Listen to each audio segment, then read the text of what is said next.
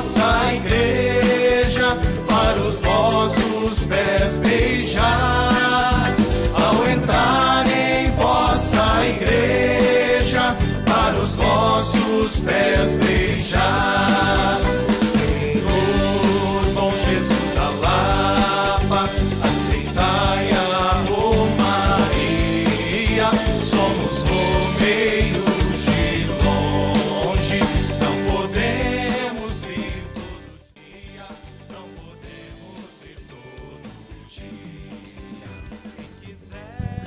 Amados irmãos e irmãs que acompanham o canal da nossa fundadora, Irmã Zélia Pereira,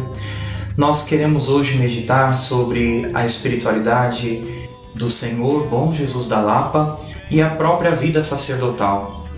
Nós acabamos de entrar no mês de agosto, mês dedicado às vocações na Igreja do Brasil, e é importante que nesta primeira semana, onde justamente cai a festa do Bom Jesus da Lapa, é, meditar a vocação sacerdotal, lembrando e recordando que ela iniciou através de um sacerdote, da sua peregrinação na fé, dos seus propósitos em vista do ministério sacerdotal, da cruz de Cristo carregada e fincada num ponto onde a fé nasce, brota e desabrocha com uma experiência profunda com Deus. Nós queremos colocar a vida sacerdotal aos pés deste que nós chamamos o Senhor Bom Jesus que ele mesmo se intitulou no Evangelho de João o bom pastor, que dá vida pelas ovelhas. E na mesma cena evangélica nós vemos este Cristo subindo o Monte Tabor com três dos seus discípulos, Pedro, Tiago e João, e o seu rosto, antes que os, os discípulos experimentassem a desfiguração do Calvário, experimentaram a transfiguração no Monte Tabor. Esta festa é permeada por esta experiência em que o próprio Jesus transfigura o seu rosto para dar aos discípulos a antecipação da sua glória futura, para que a cruz não lhe causasse medo. Por isso, caríssimos irmãos e irmãs, celebrando a vida sacerdotal, próximo da festividade do Bom Jesus da Lapa, nós queremos colocar a vida do sacerdote como modelo desta maravilha que acabamos de meditar e que meditamos na cena do Evangelho no dia 6 de agosto da transfiguração do Senhor, quando celebramos então o Bom Jesus, o Senhor Bom Jesus. O sacerdote é aquele que continua a missão do Mestre, que continua no exercício do ministério sacerdotal, na, na admissão aos sacramentos, na recepção da fé dos fiéis, na acolhida da obra da evangelização, continua aquilo que Cristo veio fazer na terra. Por isso, celebrar no mês das vocações, celebrar a vida sacerdotal e celebrar o Senhor Bom Jesus da Lapa é celebrar o mistério da graça de Deus que continua a sua ação no mundo.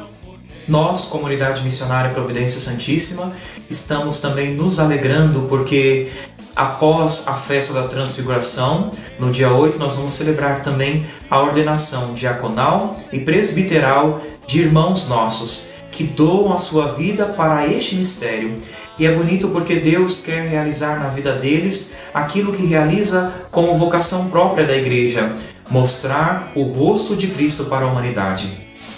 A nossa comunidade missionária tem como missão devolver no coração do homem o lugar que pertence a Deus, devolver para que o homem possa experimentar Deus sendo devolvido, acolhido novamente com uma experiência de fé no mais profundo da sua intimidade. E é isso que nós queremos celebrar neste mês riquíssimo para a nossa comunidade, riquíssimo para a nossa igreja. Que o Senhor, bom Jesus, bom pastor, pão da vida que nós estamos ouvindo na cena evangélica desta semana, possa fazer no coração destes nossos irmãos nós acabamos de ouvir aqui no canal da Irmã Zélia alguns testemunhos destes nossos irmãos que vão se ordenar, a experiência que cada um teve com o Senhor Bom Jesus. Esta experiência de ser levado para um monte de transfiguração, para um monte tirado do meio do povo, Jesus leva aqueles que são chamados para a vocação sacerdotal a um lugar reservado e ali ele transfigura o seu rosto esta é a experiência da vocação sacerdotal. Cristo não deixa de mostrar o seu rosto transfigurado para aquele a quem ele chama para ser sacerdote, para aquele a quem ele chama para continuar a sua própria missão. Por isso, é importante olharmos e meditarmos a vocação sacerdotal sobre esta ótica, um olhar atencioso de Deus para aquele que vai continuar a obra, a missão do próprio Filho de Deus, sendo um pastor no meio do povo, sendo aquele que transfigura o seu rosto na imagem do próprio Cristo. Esta é a vocação sacerdotal configurar-se a Cristo bom pastor, configurar-se até, como vai dizer Paulo, até que tudo em nós brilhe o resplendor da glória do rosto, a imagem, a figura do Filho de Deus em nós. Por isso, peçamos nesta celebração,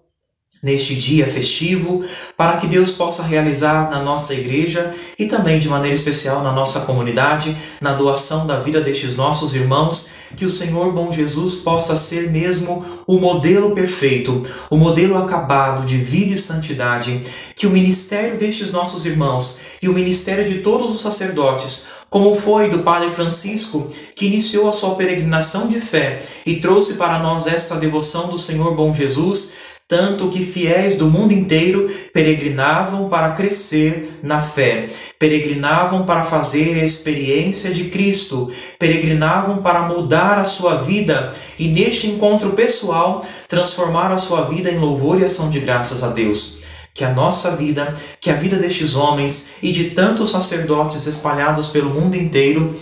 seja mesmo modelada, guiada pelo Cristo bom pastor, que no alto do monte transfigura o seu rosto. E a cena evangélica é maravilhosa, porque os discípulos ficam entusiasmados, ficam cheios da graça de Deus e ali eles podem fazer a experiência: Senhor, é bom estarmos aqui, vamos construir três tendas, uma para ti, uma para Moisés, uma para Elias. A lei e a profecia encontram em Jesus o eixo central da nossa vida cristã, porque ele resume os profetas, ele resume a lei. Na verdade, ele é a profecia do Pai. Ele é a lei que o Pai deu como deu para nós como amor encarnado no mundo, e o seu rosto transfigura, porque este rosto é o rosto do Pai, e a nuvem que cobre, imagem do Espírito Santo, faz trazer e ouvir para nós a voz do Pai novamente. Este é o meu filho amado.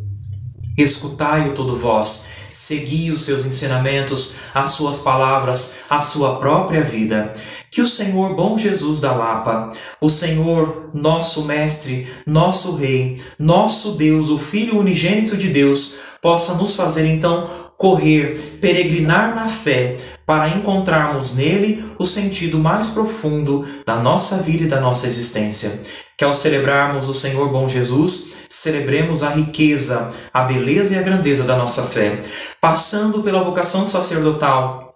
porque é Ele o sacerdote por excelência, é Ele o sumo e eterno sacerdote, é Ele o altar, é Ele o cordeiro, é Ele o eixo central dos mistérios da nossa fé. Que cada sacerdote tendo na mão aquele pão, que cada sacerdote tendo à sua frente o rosto de Cristo brilhando na Eucaristia, nos sacramentos, na palavra de Deus e em cada ato da nossa devoção cristã, possamos celebrar Cristo como centro da nossa fé e a Ele o nosso coração possa acorrer ao bom Jesus da Lapa, ao bom Senhor transfigurado, crucificado e ressuscitado, e a nossa fé encontra a verdadeira, o verdadeiro sentido pelo qual doamos a nossa vida.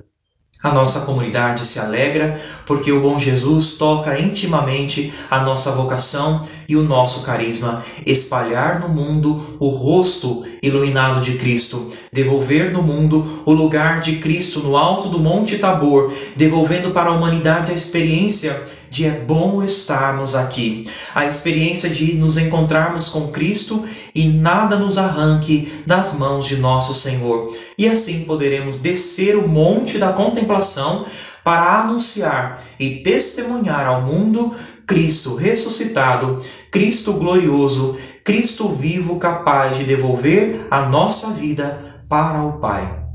Então, que nesta celebração, que nestes dias de meditação, nós que aqui acompanhamos no canal da nossa fundadora, a Irmã Zélia, possamos experimentar esta graça que o bom pastor, que Cristo, nosso Mestre,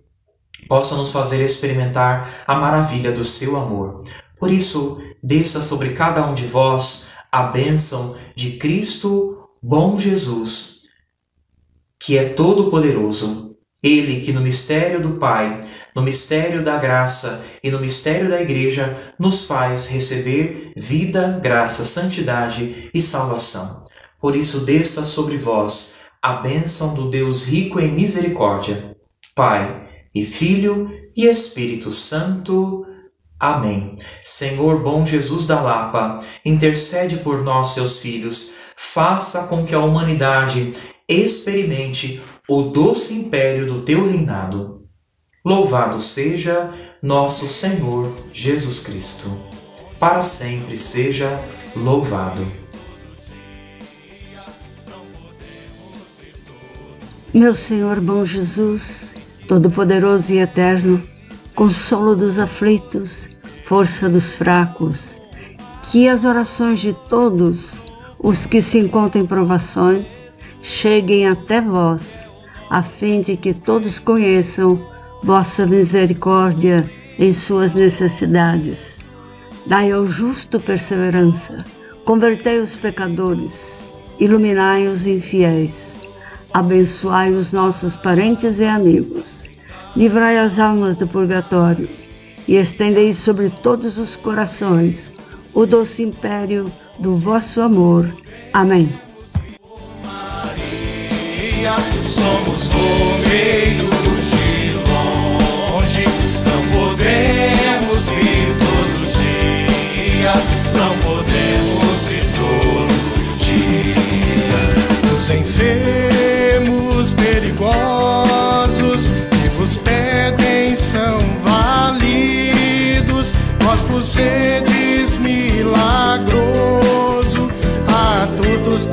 socorrido, vós por sedes